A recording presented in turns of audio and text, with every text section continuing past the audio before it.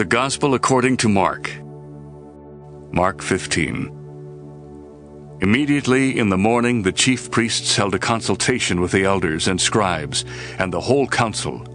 And they bound Jesus, led him away, and delivered him to Pilate. Then Pilate asked him, Are you the king of the Jews? And he answered and said to him, It is as you say.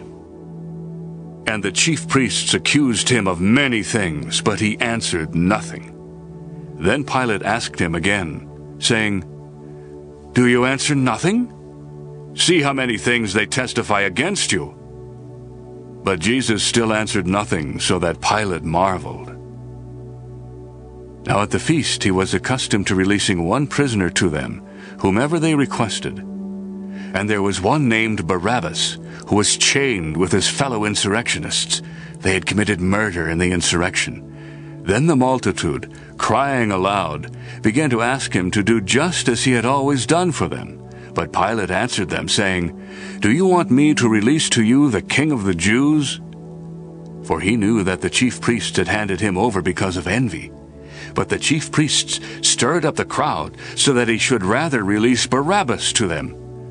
And Pilate answered and said to them again, What then do you want me to do with him whom you call the king of the Jews? So they cried out again, Crucify him!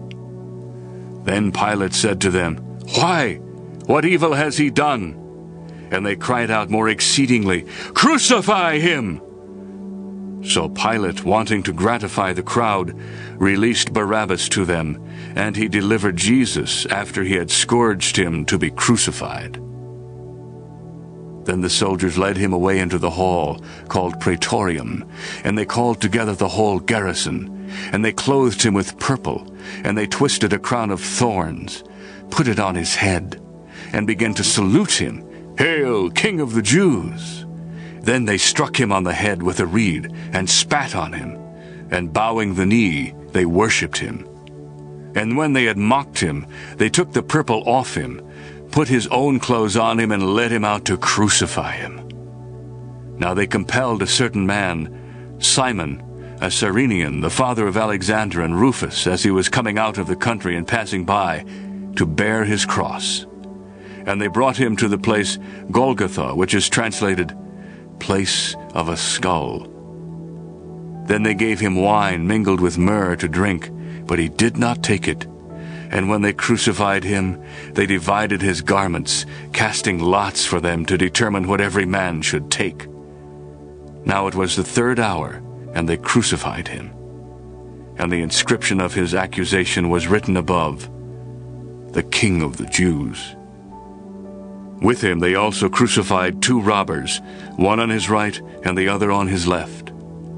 So the scripture was fulfilled, which says, And he was numbered with the transgressors. And those who passed by blasphemed him, wagging their heads and saying, Ha ha! You who destroy the temple and build it in three days, save yourself and come down from the cross. Likewise, the chief priests also, together with the scribes, mocked and said among themselves, He saved others, himself he cannot save. Let the Christ, the King of Israel, descend now from the cross that we may see and believe. And those who were crucified with him reviled him. Now when the sixth hour had come, there was darkness over the whole land until the ninth hour. And at the ninth hour Jesus cried out with a loud voice, saying, Eloi, Eloi, lama sabachthani, which is translated, My God, my God, why have you forsaken me? Some of those who stood by when they heard it said, Look, he is calling for Elijah. Then someone ran and filled a sponge full of sour wine, put it on a reed, and offered it to him to drink, saying, Let him alone. Let us see if Elijah will come to take him down. And Jesus cried out with a loud voice and breathed his last.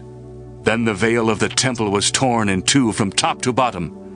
Now when the centurion who stood opposite him saw that he cried out like this and breathed his last, he said, Truly this man was the Son of God. There were also women looking on from afar, among whom were Mary Magdalene, Mary the mother of James the Less, and of Joseph, and Salome, who also followed him, and ministered to him when he was in Galilee, and many other women who came up with him to Jerusalem. Now when evening had come, because it was the preparation day, that is, the day before the Sabbath, Joseph of Arimathea, a prominent council member who was himself waiting for the kingdom of God, coming and taking courage, went into Pilate and asked for the body of Jesus. Pilate marveled that he was already dead, and summoning the centurion, he asked him if he had been dead for some time. And when he found out from the centurion, he granted the body to Joseph. Then he brought fine linen, took him down, and wrapped him in the linen, and he laid him in a tomb which had been hewn out of the rock, and rolled a stone against the door of the tomb. And Mary Magdalene, and Mary the mother of Joseph, observed where he was laid.